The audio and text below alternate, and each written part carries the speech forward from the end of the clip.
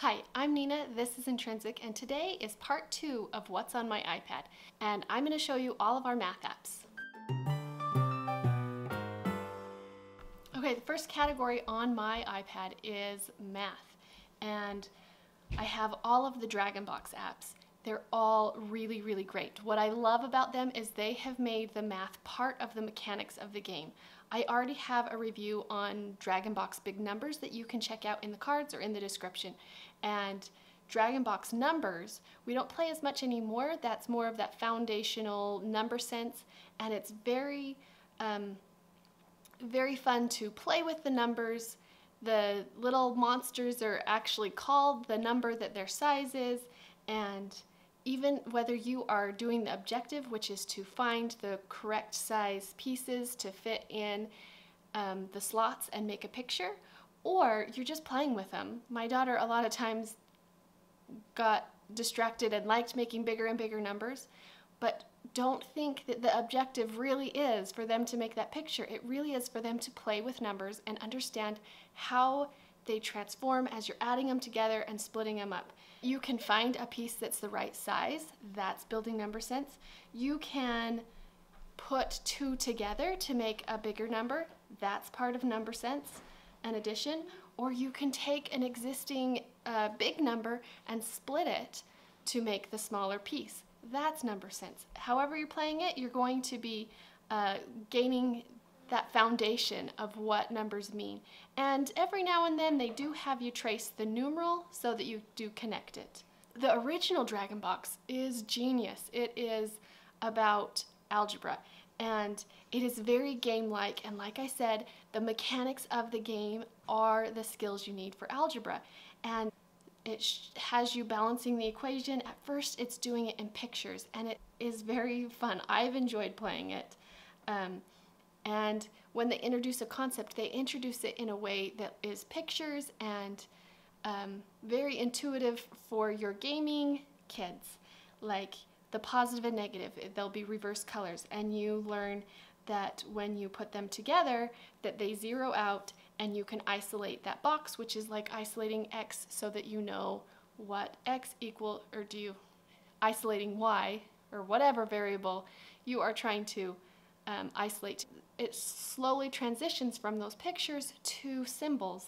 So you are getting negative C and positive C and able to put those together. We have a couple of Duck Duck Moose games. These are more preschool, early elementary level, and this is kind of where we are in our house, learning um, fluency and gaining that understanding of what the, these numbers mean and why we're doing these equations. So this Moose Math app, um, there's several little mini games in there. One of them is taking orders for shakes and you have to add the right amount to make that. Another mini game in there is matching the, um, the number of spots. Sometimes it's numerals, sometimes it's just pictures. Another game, it looks like a dot to dot, but instead of starting with one, you do start with a higher number, so you're learning to count on. That's a good important skill when you're adding bigger numbers. And um, it also transitions into skip counting. They also have a shape game that seems very basic. I don't think we really play that one very much.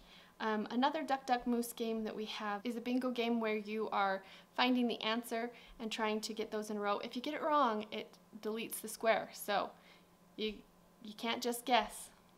Quick Math Junior is another one. This was one of the first ones I found. If you are wanting to have a report card of where your child is, this has a really good one. You let them play the game.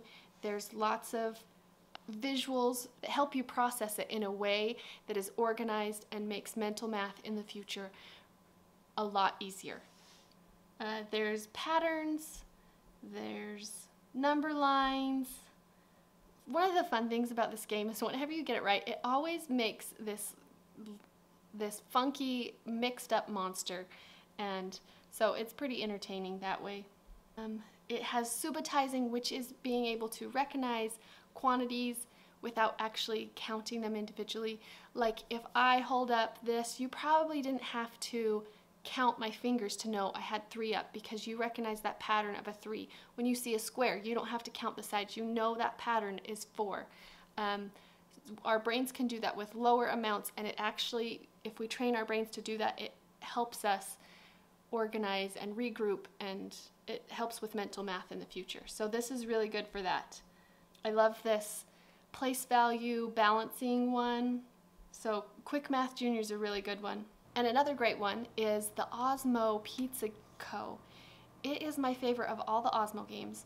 You have a pizza shop and you have to make the pizzas by physically moving the toppings onto the pizza, put it where the mirror where the iPad can recognize it, and then once you've done that, then they will pay you and you have to physically put the change so it sees that you get the correct amount and you are able to build your business. You can eventually build up the way it looks and I think a really, really cool one. My one thing that is a little bit funky with that is the pizza board doesn't stay flat. I that was the only improvement I think they could make.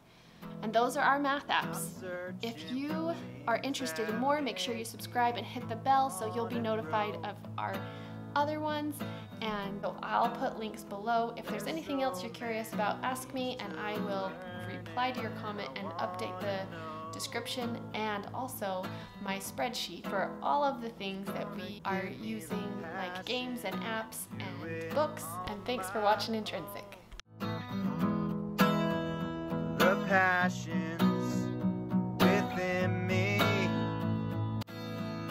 Cause I'm intrinsic